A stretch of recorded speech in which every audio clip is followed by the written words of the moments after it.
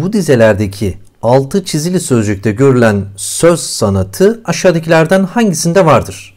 Arkadaşlar bakıyoruz dizemize. Bu kadar letafet çünkü sende var. Beyaz gerdanında bir de ben gerek.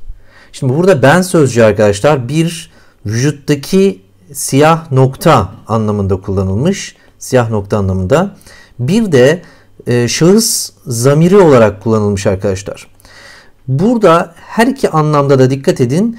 E, gerçek anlamda bir yakın, yakın anlam bir de uzak anlamdan biraz daha uzak olarak nitelendirilebilecek anlamda bir kullanım söz konusudur arkadaşlar. Dolayısıyla burada aynı zamanda nedir? Uzak anlamdır kastedilen.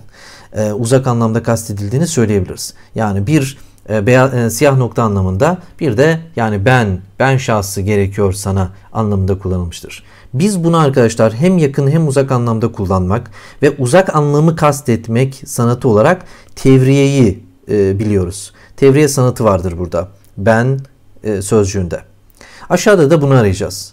Şıklara baktığımızda A seçeneğinde arkadaşlar bir buse mi bir gül mü verirsin dedi gönlüm. Bir nim tebessüm o afet gülü verdi. Şimdi dikkat edin burada bir çiçek adı olarak karşımızda, iki gülmek eylemi olarak karşımızda. İkincisinde e, dikkat ederseniz eğer arkadaşlar gülmek anlamında kullanılmıştır. Yani uzak anlamında bunu kastedecek şekilde kullanılmıştır. Dolayısıyla burada da e, aynı mantıkla düşündüğümüzde tevriye sanatı vardır. Dolayısıyla aynı söz sanatının olduğunu söyleyebiliriz. Cevabımız A olmalı bu yüzden. Lerden hangisinde böyle bir kullanım vardır? Bakalım arkadaşlar yukarıdaki açıklama bölümümüze. Bir çift göz bakıyordu zeytin ağaçlarının arkasından. Bu dizelerde bir çift göz ifadesiyle bir insan kastedilmiş ve mürsel, mecaz e, yani ad aktarması, mecazi mürsel yapılmıştır. Aşağıdakilerden hangisinde böyle bir kullanım vardır diyor arkadaşlar. Şimdi dikkat edelim. A seçeneğine baktığımızda evet oğlum hoca sevmezdi bilirim sarayı ama sövmezdi de hoşlanmadığından dolayı. Şimdi dikkat edelim. Ee, hoca sarayı sevmiyordu. Saraya sövmüyordu. Sarayı saraydan hoşlanmıyordu. Şimdi saray derken Saray burada dikkat edin saray e, kavramından yani bir bina kastedilmiyor. O binada yani sarayda oturan e, ülkeyi yöneten kişiden bahsediyor. Ülkeyi yöneten kişiyi e, kastediyor. Buraya öyle ifade edelim. Ülkeyi yöneten kişi şeklinde düşüneceğiz. Dolayısıyla burada da mecazi mürsel sanatı vardır. Bir şey ile arkadaşlar kastedilen başka bir şey olduğunda mecazi mürsel vardır diyoruz. Formülümüz bu. Bu nedenle cevabımız A olmalı. Aşağıdaki dizelerin hangisinde diğerlerinden farklı bir edebi sanat vardır? Burada tabii ki arkadaşlar ne gerekiyor? Söz sanatlarına hakim olmamız ve çabuk bulabilmemiz gerekiyor bu tarz bir soruda. A'da dikkat edin arkadaşlar ufuk bir tilkidir denilmiş. Dolayısıyla tilkiye benzetilmiş yani teşbih benzetme sanatı vardır arkadaşlar. B'de baktığımızda bırakırdı beni usulca beşiğime saçları ay ışığından dadılarım nedir? Dikkat edelim. Dadıları burada e, dadıların saçları daha doğrusu ay ışığına benzetilmiştir. Dadıların saçları yani ne vardır? Teşbih vardır arkadaşlar burada da. Gözlerim kararan yollarda üzgün ve bir zambak kadar beyazdı. Gözlerim diyor zambak kadar beyazdı. Dolayısıyla gözler zambağa benzetilmiştir diyebiliriz. D şıkkında D seçeneğinde Belki rüyalarındır bu açılmış güller. Bu yumuşak aydınlık dalların tepesinde derken dikkat edin güller rüyalara benzetilmiştir. Dolayısıyla e, rahatlıkla teşbih sanatı diyebiliriz. E seçeneğinde ise arkadaşlar dikkat edin gülüm ifadesine. Burada tabii ki sevgiliye bir e, sesleniş söz konusudur ama sevgiliyi daha doğrusu bir benzetiş söz konusudur ama burada kendisine benzetilen yani güçlü olan unsur, unsur kullanıldığı halde sevgili yani benzeyen arkadaşlar kullanılmamıştır. Dolayısıyla biz buna ne diyorduk? Benzetmenin iki unsurundan biri kullanılmadığında istiyare oluyordu arkadaşlar. Kendisine benzetilen sadece kullanıldığı, güçlü olan unsur kullanıldığı için de açık istiyare olduğunu söyleyebiliriz. Bu nedenle cevabımız E olmalı. Ateşten kızaran bir gül arar da gezer bağdan bağa çoban çeşmesi. Şimdi arkadaşlar çoban çeşmesinin burada e, fark ettiğimiz gibi gezişini, bağdan bağa gezişini bir gül arayışına benzetmektedir. Ateşten kızaran bir gül, kırmızı bir gül arayışına benzetmektedir. Dolayısıyla güzel bir sebebe bağlamaktadır. Normalde çoban çeşmesinin suyu tabii ki akacaktır. Nedir açıklamamız burada? Açıklama da verilmiş zaten. Bu dizelerde olduğu gibi bir olguyu gerçek bir nedeni dışında hoşa giden, dikkat edelim bir nedene bağlayarak anlatmak mümkündür. Nedir aslında burada kastedilen arkadaşlar? Hüsnü talil. Burada sanatın adı verilmemiş arkadaşlar. Bize açıklaması verilmiş. Ee, bu bizim için yeterli midir? Tabii ki yeterlidir. A. Sen gittin yaslara büründü cihan. Dikkat edin kişinin gidişine bağlanmış dünyanın yaslara bürünüşü. İşte soluyor dallarda gül dertli dertli. Gül zaten solacak. E, işte mevsimsel olarak solabilir. Eğer suyunu e, tam vermezsen solabilir vesaire. Doğada olacak olan bir olaydır zaten. E, bunu farklı bir nedene bağlıyor fark ediyorsanız arkadaşlar. Dolayısıyla ne diyeceğiz burada? Hüsnü talil hüsnü talil vardır diyebiliriz. HT şeklinde onu da ifade edeyim. Yani güzel nedene bağlama. Yukarıdaki ile eşdeğerdir kısacası. Devam edelim. B'de yeni bir ülkede yem vermek için atlarına nice bin atlı kapılmıştı fetih rüzgarına. Şimdi dikkat edin fethetmeyi yani savaşı bununla bağlıyor, buna bağlıyor. Yeni bir ülkede yem vermek, atlara yem vermek için. Böyle bir şey olabilir mi? Güzel bir nedene, farklı bir nedene bağlıyor daha doğrusu. Bu nedenle hüsnü talil vardır diyebiliriz. Gerçeğin dışında farklı bir nedene bağlamak. Hoşa giden bir neden. C'yi kenarda tutuyorum arkadaşlar. D seçeneğine bakalım. Yoksun diye bahçemde çiçekler açmıyor. Şimdi birisi yok diye bahçede çiçeklerin açmaması mümkün olabilir mi? Hayır. Farklı bir nedene bağlıyor burada. Kendiliğinden belki dediğimiz gibi e, güneş yok yeterince e, işte yağmur yok, su yok. Bu nedenle çiçek açmıyor olabilir uygun şartlar olmadığı için. Burada farklı bir nedene bağlıyor. Hüsnü talil var diyebiliriz. Tıpkı yukarıda olduğu gibi. E seçeneğinde saksında ruhumun bütün yası var. Derdimle soluyor açılan gül. Açılan gül dertle solmaz. Gerçeklikte farklı bir neden var. Burada farklı bir nedene bağlamış. Hoşa giden bir neden. Çünkü neden? Önemsendiğini hissettirmek için sevgiliye böyle bir söz söylemiş. Sevgilinin hoşuna gider mi? Gider. Dert bile olsa gider. Bu nedenle hüsnü talil vardır yani yukarıdaki sanat vardır diyebiliriz. Ama arkadaşlar C seçeneğine baktığımızda göz gördü gönül sevdi ev yüzü mahım kurbanın olan var mı benim bunda günahım derken arkadaşlar herhangi bir nedene bağlama durumu söz konusu değildir. Gönül gör, göz gördü, gönül sevdi şeklinde bir e, açık, net bir anlatım, net bir ifade vardır. Yukarıdakiyle bağlantılı değildir. Bu nedenle cevap C olmalıdır. Aşağıdakilerin hangisinde tecahülü arif sanatına örnek gösterilemez? Aşağıdakilerin hangisi? Dikkat edelim arkadaşlar. Arif, sus da arif zannetsinler derler ya, bilgili demektir. Tecahül ise arkadaşlar cahillendirme demektir. Cahillendirme. Yani e, bilgili bir kişiyi, arif bir kişiyi cahillendirme, cahil gibi gösterme durumudur. Dolayısıyla bakalım A. Sular mı yandı? Neden tunca benziyor mer mermer diyor. Şimdi dikkat edelim. Sular yanar mı? Bunu en e, cahil insan bile bilir değil mi? Cahil veya insan bilmez. Öyle diyelim. Suların yanmayacağını. Dolayısıyla burada tecahülü arif vardır diyebiliriz. T diyorum buna da. B'de bir ah çeksem dağı taşı eritir, gözüm yaşı değirmeni yürütür derken arkadaşlar ne yapmış? Tabii ki tecahül harfi yok. Burada bu sefer e, mübalağa var arkadaşlar. Yani mübalağa abartma diyebiliriz. Onu da yine not düşelim, üşenmeyelim. C seçeneğinde arzu, arzu dolu yaşamak dolu bu eller miydi resimleri tutarken uyuyan? diyor bir soru soruyor. Bildiğiniz gibi arkadaşlar tecahülü harfte soru ön plandadır. Dolayısıyla soru ön plandaysa tecahülü harf var diyebiliriz. Bu eller miydi? Tabii ki o ellerdi arkadaşlar. Tabii ki o ellerdi ve bu kişi bunu biliyor. D seçeneğinde arzu dolu yaşamak dolu bu eller miydi resimleri tutarken uyuyan derken yine aynı durum söz konusudur. Tecahülü harf vardır.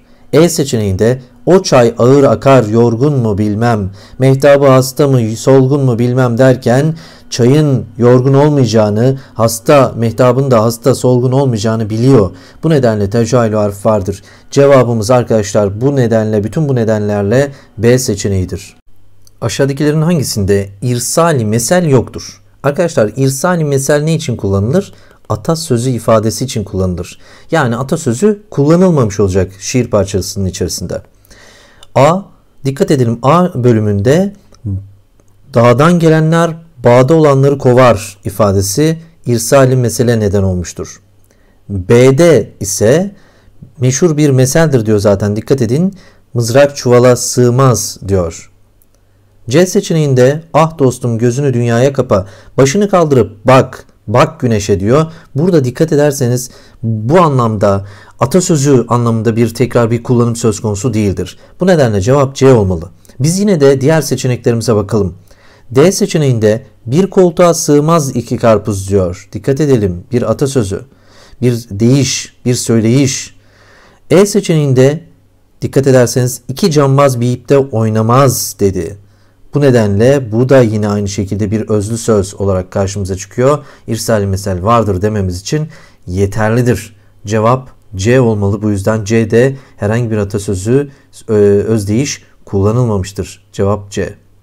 Aşağıdakilerden hangisinde diğerlerinden farklı bir sanat vardır? Arkadaşlar söz sanatları açısından değerlendireceğiz tabii ki seçeneklerimizi. A seçeneğinde baktığımızda ne diyor? Yaşar, Yaşar Endal konuşuyor. Yani insan dışındaki bir varlık konuştuğu için intak sanatı yani diğer adıyla konuşturma sanatı vardır diyebiliriz. B seçeneğinde dal konuşuyor. Tomurcuğa bir şeyler söylüyor. Dolayısıyla burada da intak vardır. D seçeneğine baktığımızda çeşmenin konuştuğunu görüyoruz. İnsan dışındaki bir varlık konuşturulmuş yine. Çiğdem konuşuyor arkadaşlar. Çiğdem konuşuyor. Buradaki çiğdem derken kastettiğimiz bir insan isminden bahsetmiyoruz değil mi? Ee, burada e, bir çiçekten bahsediyoruz. Dolayısıyla buralarda nedir? İntak sanatı vardır. Fakat C seçeneğine baktığımızda dedim Dilber niçin sararıp soldun? Dedi çektiğim dil yarasıdır. Şimdi burada arkadaşlar e, nedir? İntak konuşturma sanatı yoktur. İntak konuşturma sanatı yoktur arkadaşlar. Bu yüzden cevabımız C olmalıdır. Aşağıdaki dizelerin hangisinde ayraç içinde verilen edebi sanat yoktur? Yani yanlış bir eşleştirme söz konusudur. A'ya bakalım. Kanadın yayılmış çırpınmak için bu kış yolculuk var diyorsa için iç dış zıttı anlamında arkadaşlar. Dış iç mantığıyla burada iç söz konusu. Diğerinde ise edat olarak karşımıza çıkıyor. Dolayısıyla bir cinas olduğunu söyleyebiliriz. Cinas neydi çünkü? Anlamları eş, e, eş sesli ifadelerle kuruluyordu. Yazılışları aynı, anlamları farklı kelimelerle. Dolayısıyla cinas vardır. B seçeneğinde yaslı gelin gibi mahzun mu bilmem yüce dağ başında siyah tül vardır. Siyah tül arkadaşlar burada e, ne siyah tüle benzetiliyor? Kendisine benzetilen olarak karşımızda ama benzeyen nedir? Benzeyen esas olması gereken sistir arkadaşlar. Sis burada benzeyendir ama kullanılmamıştır. Burada sis veya e, siyah tüle benzetilmiş. Yani istiyare var arkadaşlar. istiyare. C seçeneğinde ateşten kızaran bir gül arar da gezer bağdan bağa çoban çeşmesi. Çoban çeşmesinin suyunun gezişi bir gül arayışına benzetilmiş. Yani normalde gül aramak için mi geziyor? Tabii ki hayır. Hüsnü talil yapılmıştır arkadaşlar burada. Doğrudur kısacası. D seçeneğinde göz gördü gönül sevdi seni ey yüzü mahım kurbanın olan var mı benim bunda günahım derken bir soru soruyor. Tabii ki günahının olmadığını biliyor. Tecahül arif vardır. Bilip de bilmemezlikten gelme sanatı vardır arkadaşlar. E seçeneğinde intak yani ne arayacağız? Arkadaşım konuşturma arayacağız. Konuşturma peki var mı diye bakıyorum. Yaz çekti gitti. Güz değişik bir bahar açar. Yel kükredikçe dalga denizden tomar açar diyor. Arkadaşlar burada insan dışındaki bir varlığı konuşturma söz konusu değildir. Yani intak yoktur. Bu nedenle cevabımız E olmalıdır. Aşağıdakilerden hangisinde istiyare sanatı yoktur diyor arkadaşlar. Dikkat edelim A seçeneğine. Kande olsam ey peri gönlüm senin yanındadır. Dikkat edersek arkadaşlar burada sevgili periye benzetilmiştir. Ama peri kullanıldığı halde sevgili kullanılmamıştır. Dolayısıyla istiyare vardır. B seçeneğinde havada bir dost eli okşuyor tenimizi derken dikkat edin arkadaşlar havada bir dost eli derken kastettiği dost eliyle muhtemelen nedir? Arkadaşlar rüzgar olabilir değil mi? Rüzgar. Ama rüzgar kullanılmamıştır. Dolayısıyla istiyare vardır. C seçeneğinde günlerimi koklamadan attığım birer güldür diyor. Günlerini dikkat edelim günler burada benzeyen gül ise kendisine benzetilen. Dolayısıyla burada ne vardır arkadaşlar? Burada teşbih vardır. Yani benzetme vardır. C'de istiyare değil teşbih benzetme vardır. Bu nedenle cevabımız C olmalıdır. D seçeneğinde bir met zamanı gökyüzü kurşunla örtülü derken gökyüzü kurşunla örtülü ile kastettiği arkadaşlar nedir? İşte bulutlar olabilir, kapalı olduğu kara bulutlar olabilir diyebiliriz. Bu nedenle istiyare vardır. Bir benzetme, gizli yolla bir benzetme e, söz konusudur. E seçeneğinde ay zeytin ağaçlarından yere damlıyordu derken ay damlamaz arkadaşlar. Burada ay bir sıvıya benzetilmiştir. Bu her neyse su olabilir vesaire. Dolayısıyla ama e, sıvı kullanılmış mı, likit burada kullanılmış mı, kullanılmamış. Biz bu durumlarda ne diyorduk? Arkadaşlar istiyare diyorduk. Dolayısıyla burada da istiyare vardır. Cevap C olmalı. Bir ah çeksem dağı taşı eritir. Gözüm yaşı değirmeni yürütür. Şimdi her iki dizede de arkadaşlar dikkat edersek burada ne var? E, mübalağa olarak nitelendirdiğimiz abartma sanatı var arkadaşlar. Abartma. Şimdi dolayısıyla biz bu dizelerde görülen edebi sanat denildiğinde mübalağayı yani abartma sanatını arayacağız arkadaşlar. Hangisinde yoktur diyor yalnız. Yani olmayanı arayacağız. E seçeneğinde aramazdık gece mehtabı yüzün parlarken diyor bir uzak yıldıza benzerdi güneş sen varken. Yani dikkat edin burada sevgiliye çok ciddi bir abartıyla yaklaşma durumu söz konusu. Güneş ve mehtapla karşılaştırıyor hatta onları daha aşağıda görüyor. Dolayısıyla mübalağa sanatında olduğu gibi bir şey olduğundan çok veya olduğundan düşük gösterme durumu söz konusudur. Dolayısıyla burada mübalağa vardır. B seçeneğine bakalım. Gözyaşı tufanıyla taşıp gidiyor ovalar. Nereye bu göç diye sesleniyorum kuşlara. Dikkat edin gözyaşı tufanıyla ovalar gidiyor, akıyor gözyaşıyla. Dolayısıyla burada da mübalağa var. Böyle bir şey mümkün olamaz.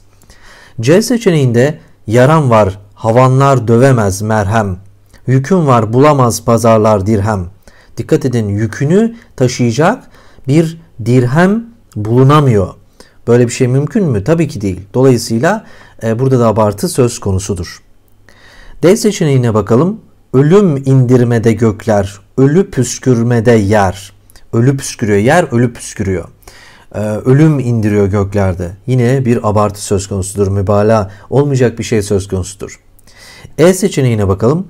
Artık demir almak günü gelmişse zamandan meçhule giden bir gemi kalkar bu limandan derken arkadaşlar burada mübalağa sanatı yok. Sembolik bir anlatım var ama mübalağa durumu söz konusu değil. Dolayısıyla cevabımız E olmalı. Aşağıdakilerin hangisinde istiyare sanatına yer verilmemiştir? Dikkat edelim istiareye yer verilmemiştir. İstiare için bir formülüm var arkadaşlar. Nokta nokta ile kastedilen nokta noktadır. Bu kastedilenlerden bir tanesi verilmiyor arkadaşlar. Birini biz zihnimizde tutuyoruz kesinlikle. Kastedilen verilmiyor. Biz zihnimizde tutuyoruz. Tamam. Bu şekilde e, düşüneceğiz. İkinci aşamada özellikle zihnimizde tutulan. Bakalım mavi patiskaları yırtan gemilerin ne diyor? Şimdi mavi patiska e, ile kastedilen burada arkadaşlar nedir? Denizdir. Değil mi? Yani gemiler denizde yol alır. E, denizi mavi patiskalara e, burada benzetmiş. Bu nedenle istiyare var. Bildiğiniz gibi istiyarede ne vardır? Burada benzetme ifadesini kullanıyoruz özellikle. Teşbih yani benzetme sanatındaki iki temel unsurdan yani benzeyen ya da kendisine benzetilenden özellikle zayıf olan benzeyen, özellikle güçlü olan kendisine benzetilen. Bunlardan biri kullanılıyor, diğeri kullanılmıyor. Tamam mı? Sadece biri kullanıldığı zaman biz buna istiyare ediyoruz. Her ikisi de kullanılmış olsa buna benzetme diyeceğiz zaten. Devam edelim. B seçeneğinde seni seven aşık neylesin malı? Yumdukça gözünden döker mercanı. Gözden mercan mı dökülür? Gözden gözyaşı dökülür arkadaşlar. Gözyaşı burada mercana benzetilmiştir ama gözyaşı kullanılmamıştır dizelerde. Tam olarak kastettiğimiz şurada kastettiğimiz budur arkadaşlar. C seçeneğine bakalım. Yani burada B'de de istiyare var dedik. C seçeneğine bakalım.